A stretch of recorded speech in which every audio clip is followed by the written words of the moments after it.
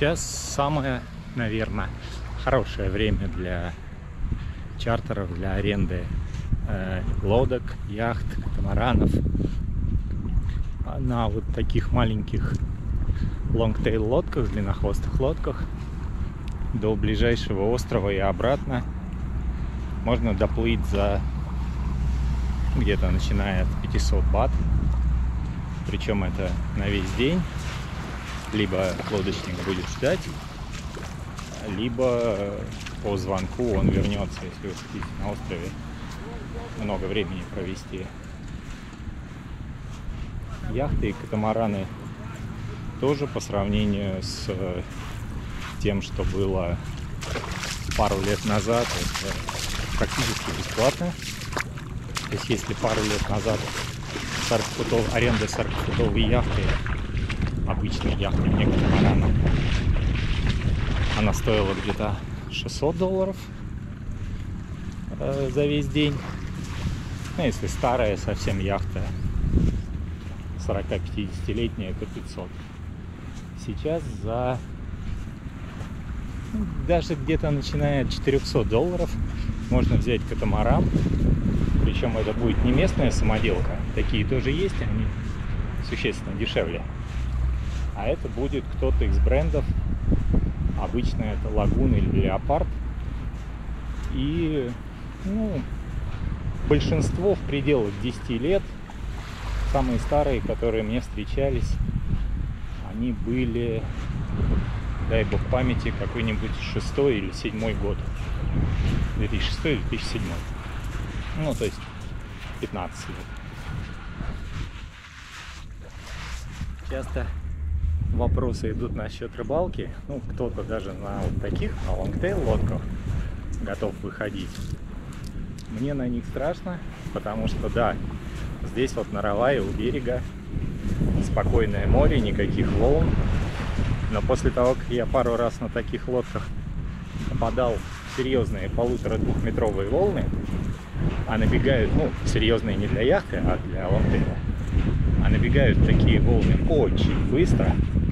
То есть бывает, что достаточно зайти вон за тот остров, который у меня за спиной, и там уже волны очень серьезные.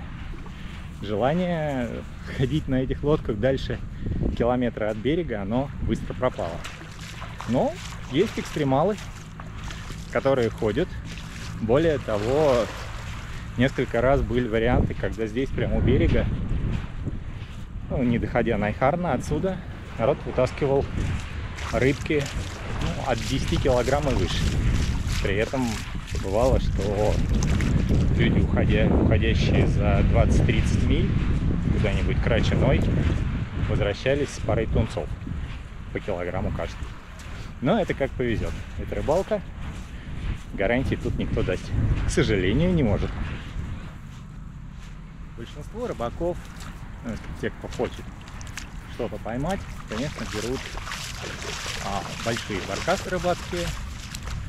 Это где-то от 40-50 футов, 12-15 метров и больше.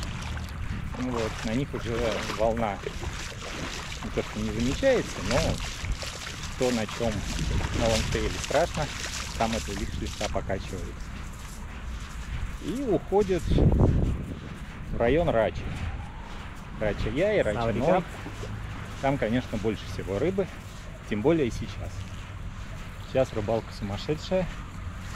Я как-нибудь соберусь, возьму с собой камеру на рыбалку и покажу. Пока лучший вариант года у нас получился 47 рыбок за 6 часов. Причем это то, что мы оставили. Ну, правда, оставляли мы, начиная где-то килограммового тунца. Вот полутора килограммового.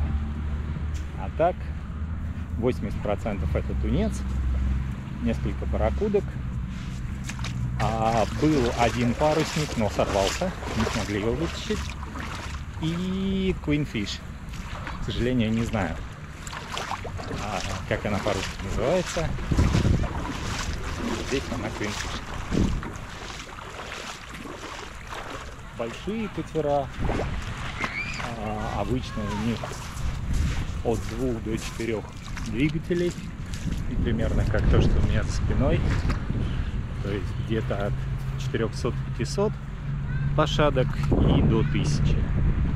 Ну, собственно, вон тот как раз 4 по 250, этот 3 по 250. Они начинаются от 10 тысяч, это 300 долларов.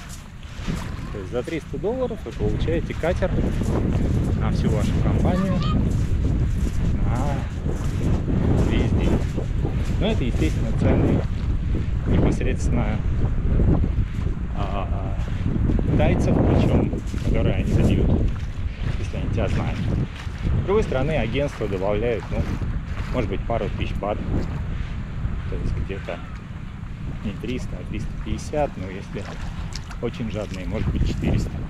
Так что очень приятный ценник.